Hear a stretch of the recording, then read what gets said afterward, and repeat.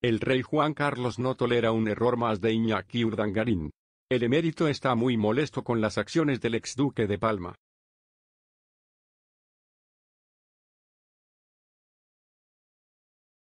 Desde que saliera a la luz la deslealtad de Iñaki Urdangarín, la familia de la infanta Cristina no está nada contenta, especialmente el rey Juan Carlos.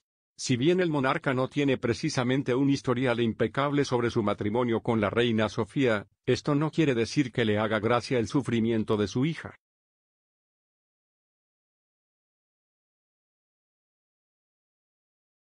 El emérito quiere que ese amor tenga su punto, y final y todo indica que Cristina de Borbón va a cumplir ese especial deseo, no porque se lo pidan sino porque la decepción fue tal que no considera una segunda oportunidad en lo absoluto.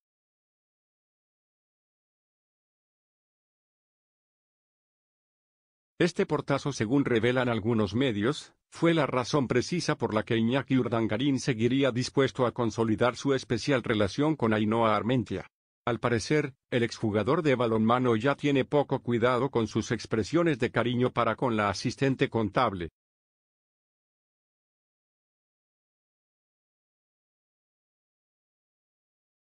Al conocer esta información, que además fue una vez más portada en revistas del corazón, el rey Juan Carlos estaría muy enfadado porque con todo lo que todavía se expone, su todavía legalmente yerno disfruta de los privilegios por ser esposo de la infanta Cristina.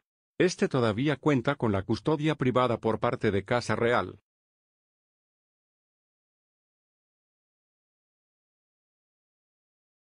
El padre de Felipe VI no tolera una más, ya suficiente tuvo su heredera con todos los problemas que tuvo con la justicia y después de apoyarle de forma incondicional, ahora que está tan cerca de disfrutar nuevos beneficios como la libertad condicional, le paga de la peor manera a su compañera de vida.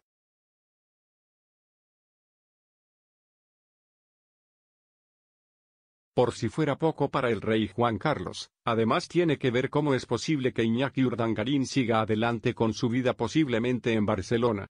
El exduque de Palma se habría inscrito en un curso para convertirse en entrenador de balonmano, justamente en la ciudad donde por mucho tiempo fue feliz con su familia.